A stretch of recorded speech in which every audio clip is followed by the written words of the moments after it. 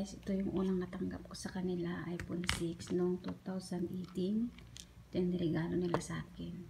iPhone 6. Ayan. Ayan yung ginregalo nila sa akin.